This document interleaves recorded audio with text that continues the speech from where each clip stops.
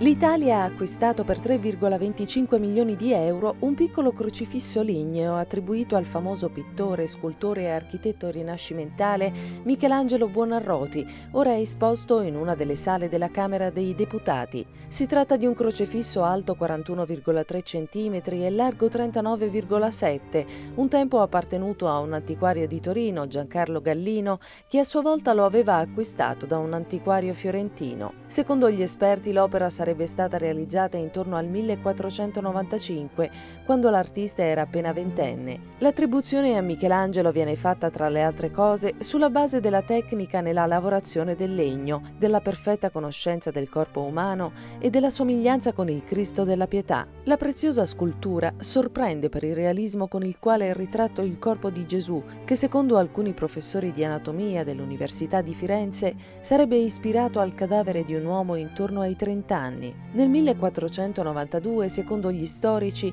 Michelangelo trascorse del tempo al convento di Santo Spirito a Firenze, dove ottenne il permesso di studiare i cadaveri provenienti dall'ospedale del convento e perfezionare così i suoi studi sull'anatomia umana, che poi applicherà magistralmente nelle sue opere. L'opera giovanile di Michelangelo è stata esposta per la prima volta al pubblico nel 2004 al Museo Horn di Firenze, dove farà ritorno una volta fatto il giro dell'Italia. Il crocefisso è stato inoltre presentato a Papa Benedetto XVI durante la sua visita all'ambasciata italiana presso la Santa Sede.